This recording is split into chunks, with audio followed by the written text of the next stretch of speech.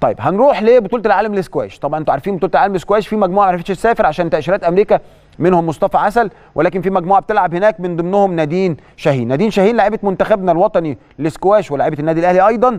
هتلاعب النيوزيلندية جولي كينج بثمن النهائي بطولة العالم واللي بتتلعب دلوقتي في مدينة شيكاغو الأمريكية في الفترة من 14 22 يوليو الحالي. والمجموع جوائز البطولة دي مليون و500 ألف دولار. كام يا هيثم؟ مليون و500 ألف دولار. السكواش م...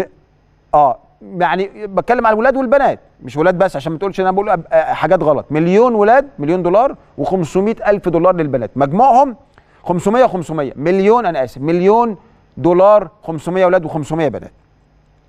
نادين وصلت للدور ده بعد ما كسبت دور ال 32 بطلة ماليزيا بنتيجة 3 1 وللأسف إحنا كان عندنا يوسف سليمان مشاري وكان عندنا سنة إبراهيم مشاركين بس ما حلفهمش الحظ إن هم يعني يتأهلوا. طيب خليني أقول لكم إنه يوسف سليمان كان حصل له برضه موقف. يوسف سليمان في البطولة دي اتخبط في بقه واسنانه اتكسرت.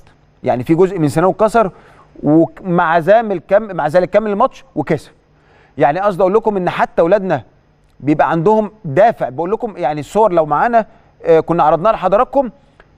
بقه جايب دم وسنانه مكسورة شايل سنانه ويعني ويمكن أجيبها لكم كمان ومصطفى عسل معانا. شايل سنانه على إيده والدم نازل خرج نشف دمه ومسح إيده وكمل المباراة وكسبها. ده مين؟ يوسف سليمان.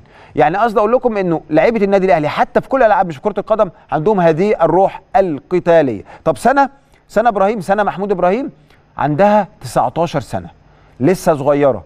بتشارك البطولات دي عشان بعد سنة أو اتنين تخش في الترتيب العالمي